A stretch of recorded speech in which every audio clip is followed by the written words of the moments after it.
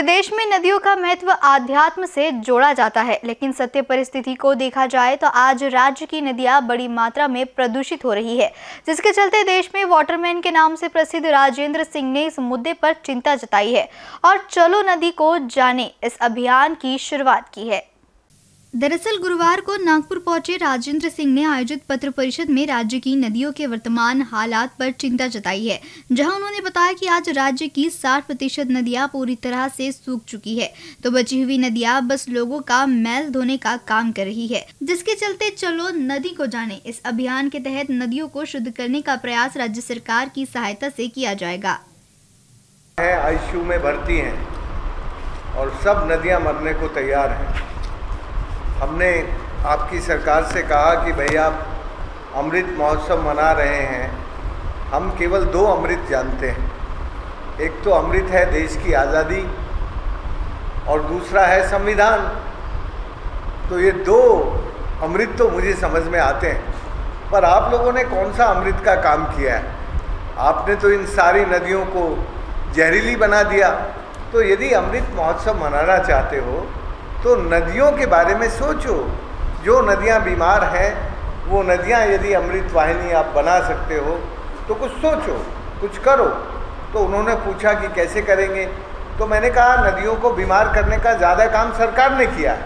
सरकार की जितनी भी म्यूनिसिपल कॉरपोरेशंस हैं, उन सबने नदियों की ज़मीन पर कब्जे करके अपने दफ्तर, ये वो सब बनाया है। तो नदियों पर जो अतिक्रमण हो रहा है वो सबसे ज़्यादा सरकारें करती हैं। और दूसरा जो नदियों में प्रदूषण है, प्रदूषण को रोकने के लिए म्यूनिसिपल कॉरपोरेशन होता है, वो भी सरकारी है। तो म्यूनिसिपल कॉरपोरेशन को किसने राइट दिया है कि जिस नदी में अविरल निर्मल जल बहता था, उसमें आप गंदा पानी डाल दो? तो ये भी आपका सरकार कर रहा है।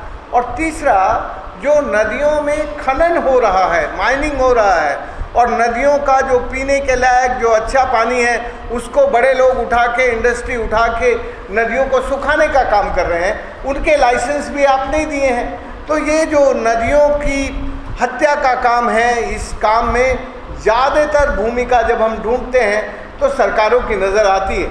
इसलिए इनको ठीक करने का काम भी सरकार ही करेंगी।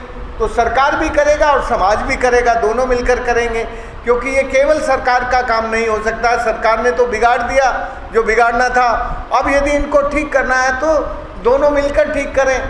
तो ये अभी चीफ सेक्रेटरी की अध्यक्षता में बिना किसी राजनीतिक दलगत राजनीति से दूर कासाल गंगा में कासाल गंगा शोलापुर की एक नदी है उस नदी पर तेईस गाँव हैं।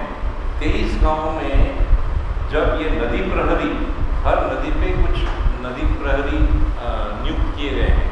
वो नदी प्रहरियों ने हर गाँव में जाकर और वहाँ पर पानी की क्या समस्या है? उनके गाँव में कोई तालाब है क्या? और तालाब की आज की परिस्थिति क्या है? उनके गाँव में जो ओड़े नाले जा रहे हैं उस पर कुछ बाँध है क्या? और उसकी क्या परिस्थिति है? उसमें गाड़ बन गया है? क्या उसकी वाइडनिंग डीपनिंग का काम वहाँ पर जो फॉरेस्ट एरिया है उस गाँव में उस फॉरेस्ट एरिया पे क्या पोजीशन है? क्या वो वहाँ पर ही फॉरेस्ट लैंड है और उसके ऊपर कुछ पेड़ है या नहीं है?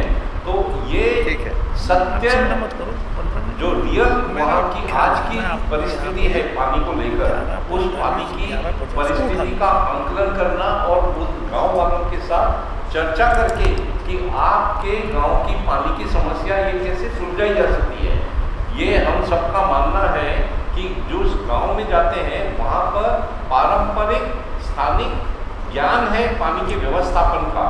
तो वो अपने पानी को कैसे बचा के रखते थे और अभी कैसे वो छूट चुकी है नदी तो फिर से उस नदी को पुनर्जीवित करने के लिए क्या करना चाहिए? ऐसे तेईस गाँव में घूम के वहाँ पर जो प्रदूषित पानी के नाले जा रहे थे उनको जीपीएस रीडिंग लेके उसकी फोटोग्राफ्स लेके उसका एक नोट लिख कर कि ये इस वजह से पोल्यूटेड हो रहा है और सिर्फ़ जो समस्याएँ हैं जैसे एनक्रोचमेंट हुई कहाँ पर किसानों ने उसको एनक्रोच किया है कहाँ पर रोड ने एनक्रोच कर दिया है कहाँ पर आ, कुछ घर बन गए हैं और कम हो गई है। पानी वाहन क्षमता कम वहन क्षमता हो गई तो थोड़ी बारिश ज़्यादा हो गई तो उधर पूर्व परिस्थिति निर्माण हो जाती है और वो पानी पूरा बह जाता है और वो पानी बहने के बाद उस गाँव में दुष्काल हो जाता है, क्योंकि पानी तो वहाँ पर स्टोर नहीं हुआ। तो दुष्काल और पूर्व और पोल्यूशन की समस्याओं के ऊपर मात देने के लिए हर गाँव में ये जाकर विज़िट करके एक रिपोर्ट तैयार हो गई है। वो रिपोर्ट कलेक्टर के पास जाके उसने जो 20 डिपार्टमेंट्स हैं, जो पानी और नदियों के साथ संबंधित हैं, जैसे पोल्यूशन कंट्रोल बोर्ड हो गया ground water survey development authority हो गई forest department social forestry department rural affairs department इस तरह के जो 25 डिपार्टमेंट पानी और agriculture department water resources department minor irrigation zila parishad ये सब डिपार्टमेंट के जो अपनी अपनी स्कीम्स चल रही है, जैसे जलयुक्त शिवार चल रही है तो वो गाड काढायचं काम ते त्यामधून करू शकतात तो ऐसे कलेक्टर ने टास्क फोर्स बनाकर वो हर उस डिस्ट्रिक्ट के ऑफिसर को अपने अपने डिपार्टमेंट को एक एक रिपोर्ट दे दी और उनको कहा कि जैसे स्वच्छ भारत अभियान चल रहा है तो ये जो गंदे नालों का पानी आ रहा है, वो उसको उसके अंतर्गत ट्रीट करो। इन बी न्यूज़ के लिए अजित कुंवर के साथ मनीष टेमरे की रिपोर्ट।